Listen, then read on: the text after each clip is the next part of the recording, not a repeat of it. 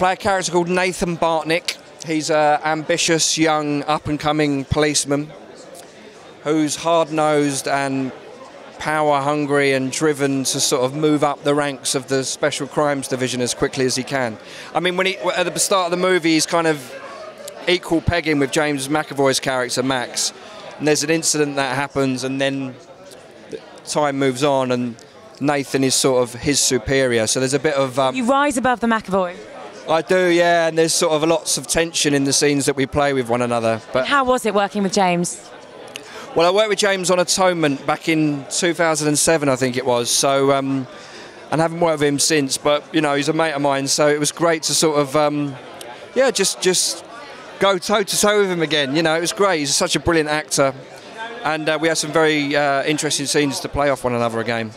And it, quite a sort of boys, cops, robbers type film. How how do you find sort of being involved in something like that versus Atonement and the drama of that? Yeah, you just have to use a different part of yourself. You know, I mean, I was in Rani's first movie, Shifty, which did very well, and um, you know, I think what he's done with this film is he's kind of set out to make a sort of all the nuance and the sensibility that you had in Shifty, and he's applied that to the sort of this contemporary cops and robbers flick. Well, And he's also, Ronnie, has kept a lot of the cast from Shifty. Lots of you tonight have said, oh, we did Shifty and now we're here doing Punch. yeah, there's a few people, Jay Simpson, and um, I think Riz Ahmed was going to be in the movie at one point. But um, it's great, you know, it's great to have uh, a director as loyal as Rani. And he, listen, at the end of the day, he's just a, such a huge talent, really. And um, Did it help you in your performance having sort of familiar faces?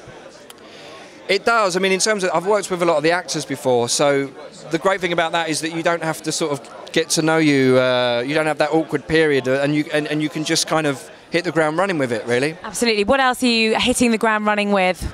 Uh, I'm in a play at the moment at the Donmar Warehouse, which is directed by Joe Wright, which I'm going to do in about half an hour after this interview. Runner. Yeah, yeah, literally. And um, so I'm doing that till April, and then I've got a movie called Byzantium, which is out in uh, May, which is a Neil Jordan movie with uh, Gemma Arterton and Saoirse Ronan, which is a sort of contemporary vampire flick, but not like Twilight. Gosh, you do get around. What a broad range of stuff you're up to. Yeah, you just got to keep, uh, you know, using as different parts of yourself really as much as you can. But Do you have a particular technique that you use to get into character? I just look in the mirror. And, no, um, oh God, there's loads of different techniques really. Um, that I'm not going to go into. Don't, don't give it all. Don't give your secrets away. No, no. Well, you run off to the Donmar and good luck tonight. Take care.